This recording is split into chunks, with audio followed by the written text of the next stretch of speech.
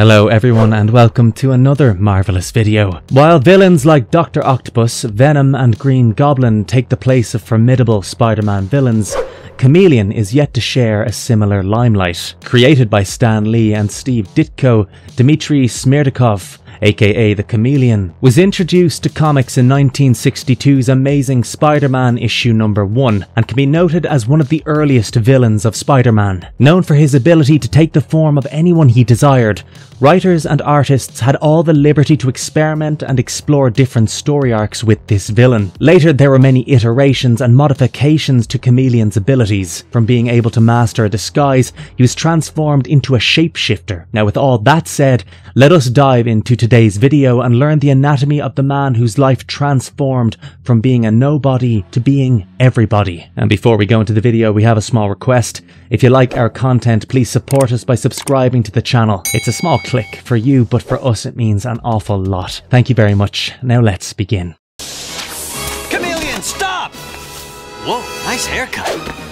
Who is Chameleon? How does he become the perfect impersonator? No criminal is born evil. It's all about the minute events that set them apart and send them down the wrong path. The events that led to the transformation of the Soviet citizen named Dmitry Nikolaevich Smerdyakov into the chameleon began at quite a young age. Dmitry was the half brother of Sergei Kravinoff, aka Kraven the Hunter, as they shared the same father. Dmitri's mother was a servant girl named Sonia Smerdyakov. Throughout his youth, he was taught to hate himself after he arrived in the Kravinoff home. Not only did his father hate the very sight of him, but his mother also considered him a humiliation. The only member of the family who could barely tolerate him was Sergei, who did not shy away from any opportunity to abuse him either. With time, Dmitri developed an extremely repressive personality and believed Sergei to be his friend. He had excellent impersonation skills and entertained Sergei and the others to impress them. At one point, Dmitri was approached by a notorious man named Gustav Fiers,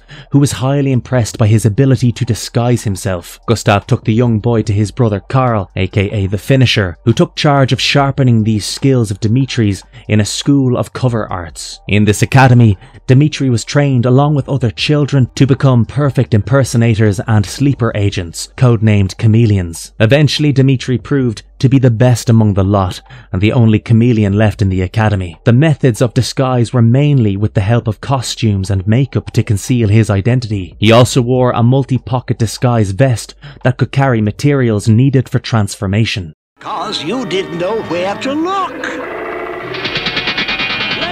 Does he have superhuman ability? As mentioned, Chameleon didn't have any superhuman powers but had excellent impersonation and disguise skills. He relied on makeup and costume, which he could switch to impeccably and fast. However, he later undertook certain surgeries that granted him the super ability to change or impersonate by sheer willpower. Dimitri's epidermis and skin pigmentation were surgically and mutagenically altered with the help of a serum that granted him the ability to take on the appearance of any person at will. His costume fabric was made of a memory material that responded to his nerve impulses and could also change its appearance by sheer willpower. Chameleon's physical strength was also revealed to be augmented after he took the same serum that Kraven had taken over the years. However, his strength was far less than that of Kraven's and definitely not superhuman. Later at some point, he was also brought back to his powerless state as he was before the augmentation.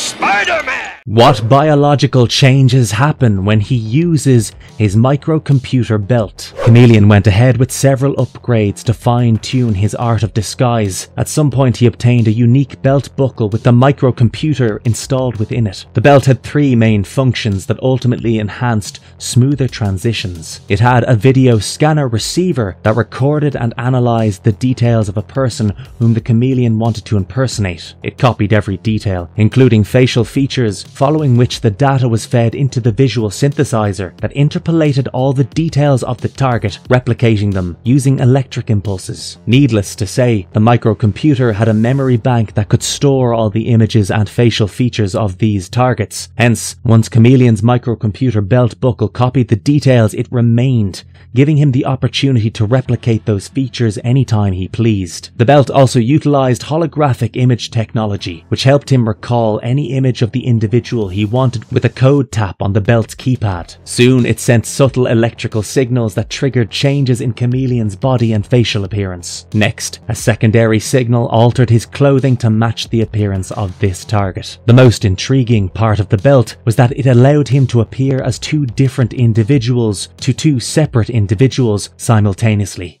Does he use the mask of a human face? As mentioned earlier, Chameleon, in his early days, began his career by using masks that could be formed into the lifelike copy of a chosen person's face. His then belt buckle could emit a spray with a special gaseous chemical that could dissolve the mask in order to be used again for different facial appearances, or his constant normal white mask. Although there wasn't much technological advantage, like his modern computerized belt buckle capable of rendering two different images at two different angles, it could pull off the transition smoothly and quickly.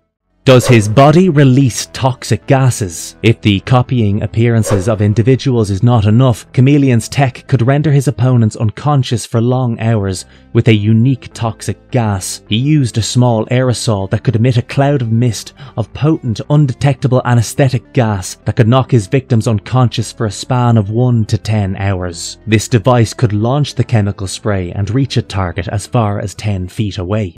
Does he have shape-shifting ability? With comic book writers having the liberty to showcase different versions of popular characters, a different version of Chameleon, who had the ability to shapeshift was showcased. Created by Brian Michael Bendis and David LaFuente, the shapeshifter version of Chameleon was also showcased in 2010's Ultimate Spider-Man Volume 2, Issue 11. He came from Earth 1610, better known as the Ultimate Universe. Chameleon, along with his sister Camellia, was an enigmatic energy-wielding shape-shifting thief addicted to mutant growth hormone. Chameleon not only had the ability to shapeshift, but could also deliver powerful energy blasts. The blast was so powerful that it incapacitated Spider-Man on many occasions. In this reality, Chameleon had caused serious damage to both the lives of Spider-Man and Peter Parker. Knowing the web slinger's true identity, he spoiled his relationship with his current girlfriend Gwen Stacy, he hurt Aunt May, ruined Peter's reputation as a hero, and even beat him to a pulp. Finally, it was the Human Torch and Iceman who stopped him. Does he have the ability to transform into an actual chameleon? In another version of reality, hailing from Earth 9500, creators Peter David and Mike Wieringo showcased the chameleon as a giant monstrous reptile. Chameleon was a shapeshifter who had the ability to physically change into his target after getting access to his or her DNA, which he usually acquires after killing said target. Chameleon had transformed into Sandman after ingesting some of the sand. This reptilian version of Chameleon was introduced in 2006's Friendly Neighborhood Spider-Man issue 10 and his death was shown in issue 19. Another reptilian version of Chameleon was shown in the reality of Counter Earth or Earth TRN 583. Not just do that. There are much bigger plans in store for you. What is his memory material? How advanced is it? Chameleon's clothing might not be part of his anatomy, but it was made of this unique fabric of memory material that could reshape and recolor itself as and when Chameleon morphed into his targets. It was first triggered by his computer belt buckle, but later when his skin pigmentation and epidermis were surgically and mutagenically altered, it was just his willpower that changed his outfit as well. I know you're actually the chameleon, but I just can't. Is the Red Skull his actual father? In the 1994 Spider-Man animated series which represented Earth 92131, Chameleon has been shown to be the stepson of the Red Skull. He started his criminal career with his father's invention of a utility belt that allowed him to imbibe the appearance of anybody he wished. At some point, Red Skull and Captain America were trapped inside a vortex during a battle and preserved for a long span of 50 years, during which Chameleon became a popular international criminal. His first defeat at the hands of Spider-Man was at the time when he was hired by an international organization to assassinate two United Nations diplomats. Following the defeat, Chameleon was imprisoned for some time until Kingpin took him out to form his Insidious Six, to eliminate Spider-Man. After the Six disbanded, Chameleon began working for Kingpin's son, Richard Fisk. The two orchestrated plans to frame Spider-Man for stealing restricted government information, failing which the two were taken into custody. Shortly before being apprehended, Dr. Herbert Landon infused Chameleon with a techno-organic virus which granted him the ability to morph without the help of any utility belt.